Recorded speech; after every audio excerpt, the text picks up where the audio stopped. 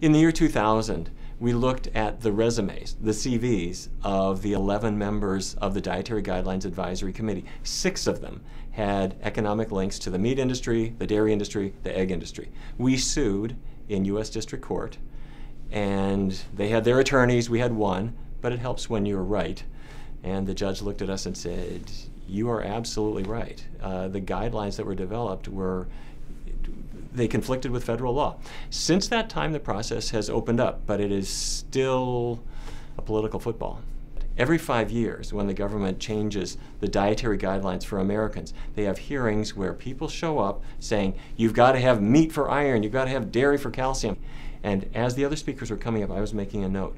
Here's somebody from the meat industry, another person from the meat industry, somebody from dairy, another one from the meat industry, somebody from eggs, somebody from liquor. It was amazing.